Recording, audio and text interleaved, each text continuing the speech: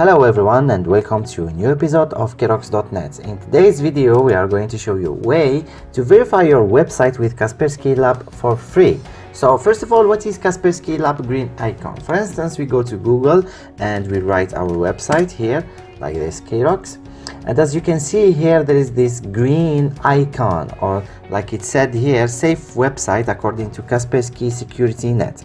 And you know there are many factors that affect website uh, click-through rate or CTR and even some of them are a bit out of radar. Even if your SEO is great and you rank well in search your website can be affected by small details you may not be aware of. So in a nutshell, the icon or this green icon serves to help internet users decide whether to click on a link or not. And you can see the same here in our website, here keyrox.net.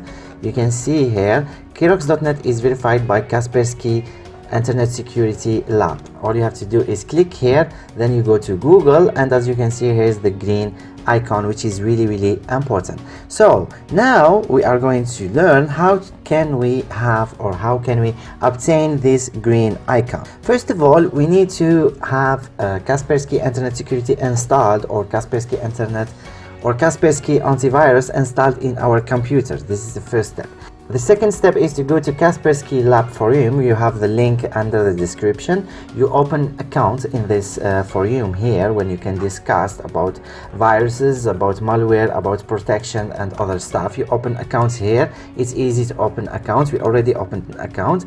Then you are going to like submit replay in this topic here which you also have the link under the description you submit your please scan my website as you can see for instance here Keyrox this is what we wrote in April 7 today we are uh, 29 April Hello Kaspersky team, please scan my website, best regard. This is all what you have to write. Then you wait until they scan your website. In our case, it took about 7 days for the green icon to show up instead of the green one and voila the icon turns green on Google as you can see and in the end while Kaspersky URL advisor doesn't affect SEO it can directly influence website click-through rate or CTR. Getting your website scanned and approved by Kaspersky Lab is easy and no time consuming. And in the end, thank you for watching this video. Feel free to subscribe in our channel and like this video.